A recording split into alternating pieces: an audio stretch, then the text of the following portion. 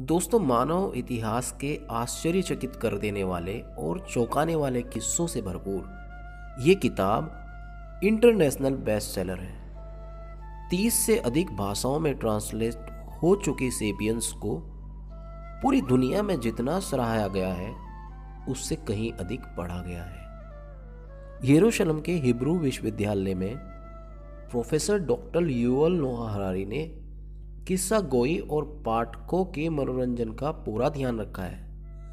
इस किताब को पढ़कर ही आप जान पाएँगे कि बिल गेट्स सहित पूरी दुनिया आखिर इसकी दीवानी क्यों हुई जा रही है और क्यों फॉरेन मीडिया इसे सदी की सबसे बेहतरीन किताब मान रहा है। सेपियन इंसानी इतिहास का विस्तृत विवरण है।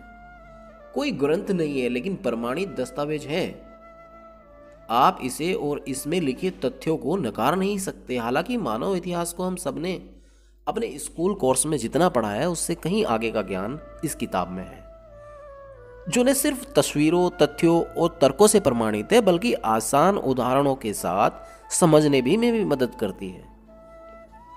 सेपियंस को पढ़ने के दौरान आपको महसूस होगा कि आप वास्तविक में क्या हैं, क्यों हैं, और यहाँ तक पहुँचने में किन किन परिस्थितियों से गुजरना पड़ा। यह ठीक वैसा ही है जैसे आप ज़मीन में एक बीज बोएँ और उसे अपने सामने पाए पौधा, फिर पेड़ बनते देखें। सेपियंस में डॉक्टर यूयोल नोहा हरारी ने जीव विज्ञान, मानव शास्त्र, जीवाश्म विज्ञान और अर्थशास्त्र के गहन ज्ञान के आधार पर इस रहस्य को खोजा है कि इतिहास के परवाने आखिरकार कैसे हमारे मानव समाज, हमारे चारों ओर के प्राणियों और पौधों को आकार दिया है। यही नहीं इसने हमारे व्यक्तित्व को भी कैसे प्रभावित किया है? ये भी सेपियंस के ज़रिए समझा जा सकता है।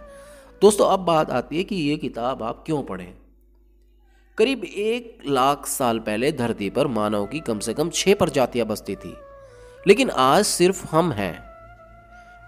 होमोसेपियंस प्रभुत्व की इस जंग में आखिर हमारी प्रजाति ने कैसे जीत हासिल की?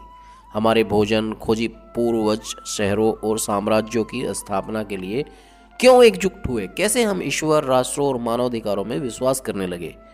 कैसे हम दौलत, किताबों और कानूनों में भरोसा करने लगे? और कैसे हम नौकरशाही समय सारणी और उपभोक्तावाद के गुलाम बन गए? आने वाले हज़ार वर्षों में हमारी दुनिया कैसी होगी? इस किताब में इन्हीं रोचक सवालों के जवाब समाहित हैं। अगर आप ये जानना चाहते हैं कि क्यों हम इस किताब को पढ़ें तो आपको एक बार खुद समझना होगा कि हम क्या हैं? अगर आप मानव इतिहास को जानने और समझने की बजाय सिर्फ़ नई हिंदी की उलझाने वाली प्रेम कहानियों के शौकीन है या फिर कविता, नज्म और बायोग्राफी के आदि हों तो सेपियंस आपके लिए नहीं है। दोस्तों, सेपियंस में अनुवादक मदद सोनी का काम बेहतरीन है।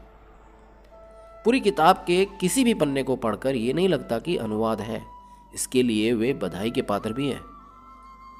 दोस्तों, इसका पूरा इस किताब का पूरा क्रेडिट मंजुल पब्लिकेशंस को जाता है। ठीक है? और मैं ये कहना चाहूँगा कि अगर आपको ये किताब ऑडियो में चाहिए तो आप मुझे कमेंट करके बताएँ तो मैं आपको ये किताब पूरी ऑडियो में अवेलेबल करवा दूँगा। ओके दोस्तों?